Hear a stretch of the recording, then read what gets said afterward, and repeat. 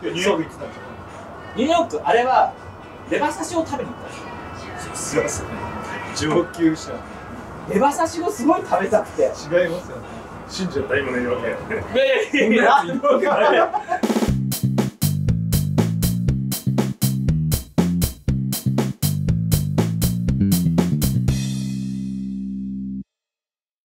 皆さん、こんにちは。ポストの佐藤洋平です。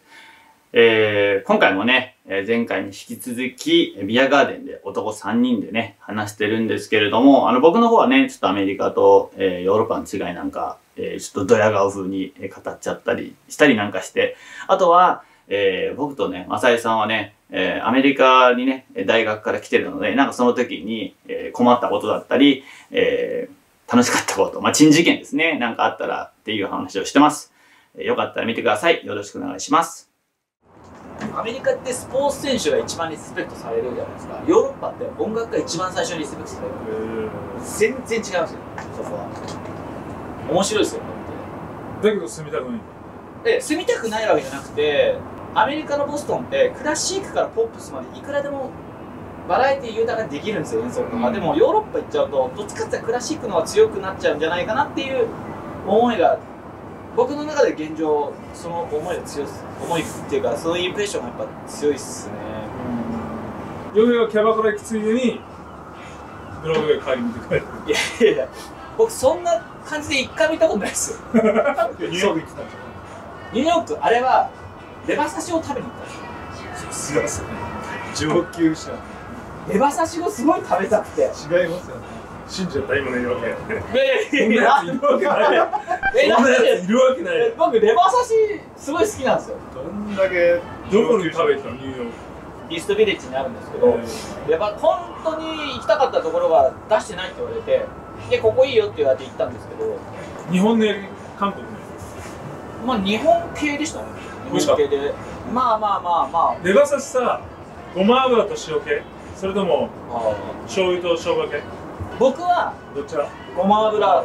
俺もごま油あれ関西はごま油で、うん。関東は醤油ってみんな知ってましたそう。あでも知ってました？知ってるけど俺広島に行って初めてごま油と塩食った時にこっちの方がめちゃめちゃうまいじゃん。ねそう僕もそう思ったんですよ。えあれ美味しい。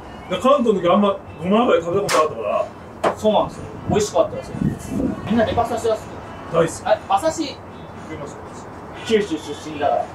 鶏刺しも食う鶏刺しも食ああ鶏刺し僕も食べますよ。うアメリカってさなんかハントするやつ多いじゃん。で俺たちの周りでもアメリカ人にする人いてあの鹿のサラミとかあ自分で打ったやつのサラミとかジャーキーとかもらう。もらうしうまい持っていますねへすごいわ。なのにそいつらに馬刺し食べるって言ったらうーわってお前らも一緒じゃんあんま変わんねえじゃんと思うけど。馬だと引くんだよ。え鹿は引かないけどアメリカの人って馬食べない。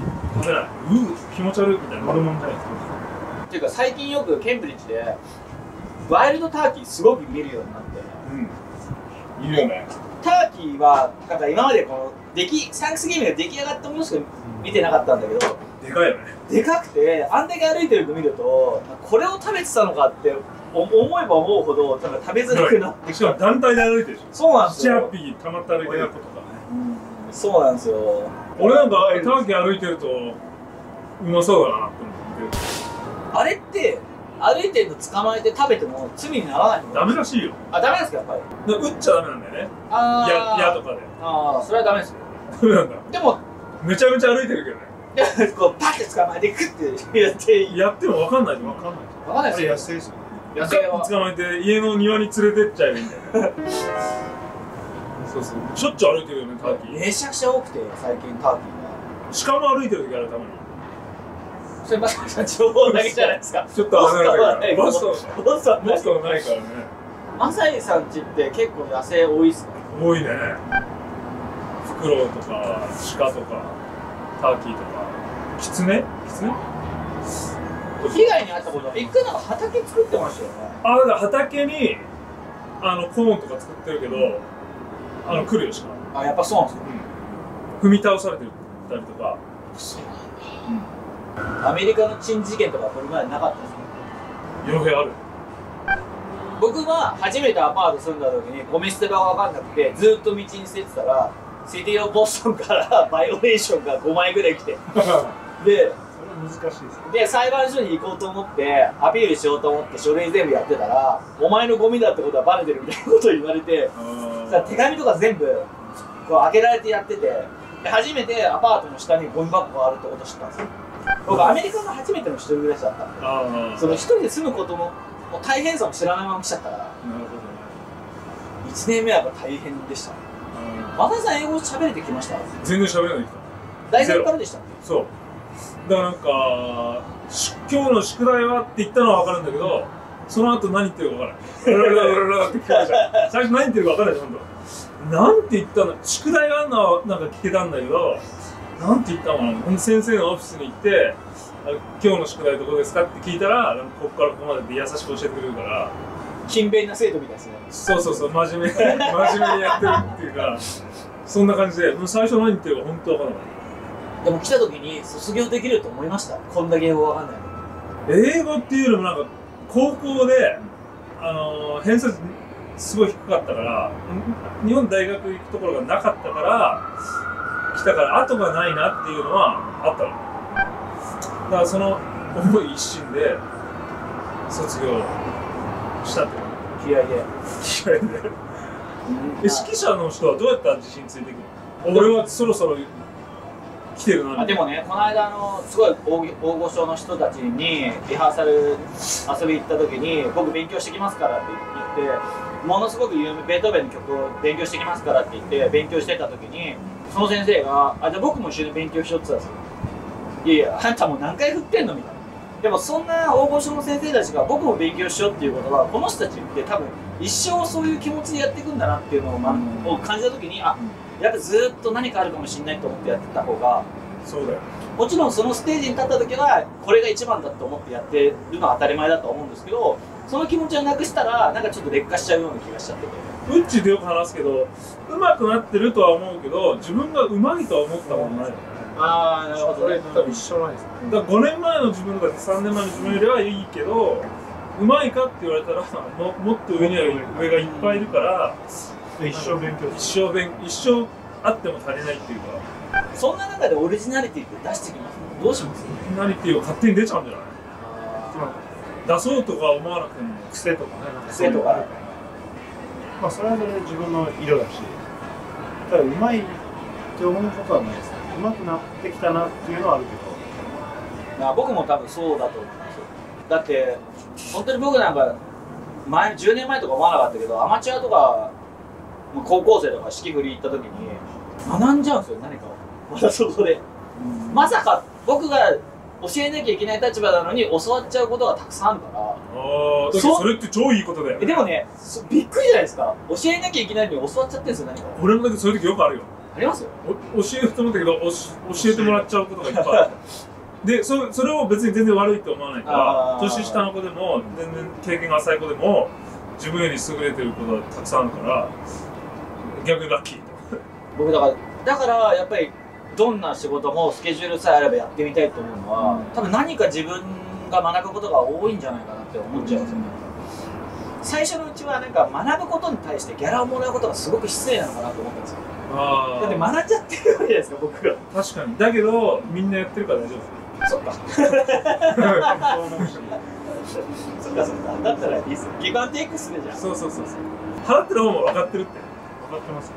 そうそう。そう子供を教えるのって難しいよめちゃくちゃ難しい。ですなんか自分より才能ある子を潰しちゃいたくないっていうかそういうのじゃなくて。多分僕自身があんまり才能あると思ってるってことじゃなくてこの子の最大限の力を発揮させるためにどうしようか。例えば僕いろいろ試したんですけど朝来た時になんかこう普通通りになんか「Hey good morning」みたいな感じで行くのが「Hey good morning」って行くのが全然子供の反応が違うなと。まあ、当たり前になる。アメリカでも教えてんのむしろアメリカの アメリカですからあだ誰に教えてんの？水着フェスティバルとかあとはたまに呼ばれてユースのユースのオーケストラとかやった時やっぱり最初は最初に式台だった時になんかすごくシリアスな最初の自己紹介するのが「Hey! everybody!」みたいなてどうやって行くの？結構今までの最近は「Hey!」とか言われて「Hey, 昔はく言ってたの？昔はなんかもう「Hi everyone!」とか言って「My name is Yo Hey!」とか言ってそしたら、ま、周りはシーンってしてんの？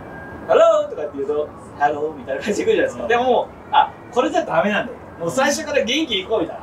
Hey! My name is Yo! Hey! みたいな感じで。そう大体結構超ウケるんですよ、みんなが。うんえ、なんだこいつみたいな。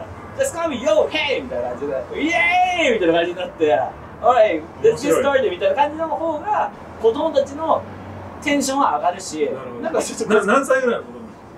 高校生があそんな言ってんの？うん結構それが多くて。難しい年代ですよねそうですね。でも、そうやって言うと、すごいやっぱ喜んでくれますね。そっちの方が気持ちはつかみやすかった。いいですね名前も「ヨーヘイスそうです。よう、ヘイでいける。結構楽っちゃう。両 A って言いやすいよそのテンションで大体日本とかの、あ、そう、日本で高校生とか教えて、なんかやると、なんか逆にシーンとなるんですよ。両 A っていくの？なんか、こんにちはみたいな感じで言うと、え、誰こいつみたいな感じになって、でも僕、めげないでやるんですよ、ずっと。そうすると、だんだんだんだんこう、持ってくる。乗ってきてくれて、最後はなんか、面白かったですとかって言われると結構嬉しいですよ。ね。